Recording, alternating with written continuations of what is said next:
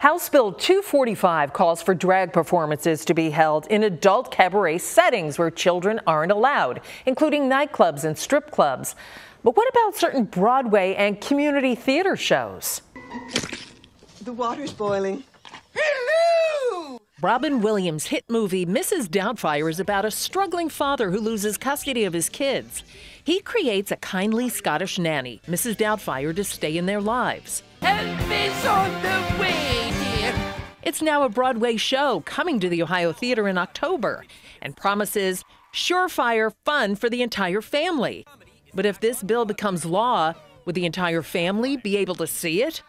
House Bill 245 specifically targets performers or entertainers who exhibit a gender identity that is different from the performers or entertainers' gender assigned at birth using clothing, makeup, prosthetic or imitation genitals or breasts, or other physical markers. Drag performances would be banned from public parks, parades, and anywhere children might be. And there are levels of penalties, all the way up to 18 months in prison and a $5,000 fine. We called and emailed the bill sponsors, Representatives Josh Williams and Angie King, to get some clarification. We also reached out to Ohio Attorney General Dave Yost and CAPA Columbus, which is sponsoring the show. We haven't heard back from anyone. Columbus Mayor Andrew Ginther tweeted, Banning drag goes against the values we hold dear as a community openness and inclusivity.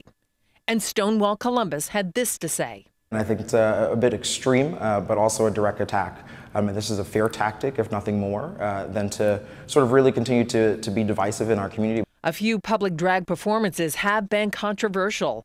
Last December, an event featuring holiday stories and dance numbers with local drag performers was suddenly canceled. The organizers at odds with the city and Columbus police after word that a far right group would be there to protest. Then last May, a group of what appeared to be neo Nazi protesters at a drag brunch fundraiser that was held at Land Grant Brewing Company. House Bill 245 was introduced Monday, but already has 44 co sponsors, very close to the 50 member majority needed to pass the House. In Columbus, I'm Terry Sullivan.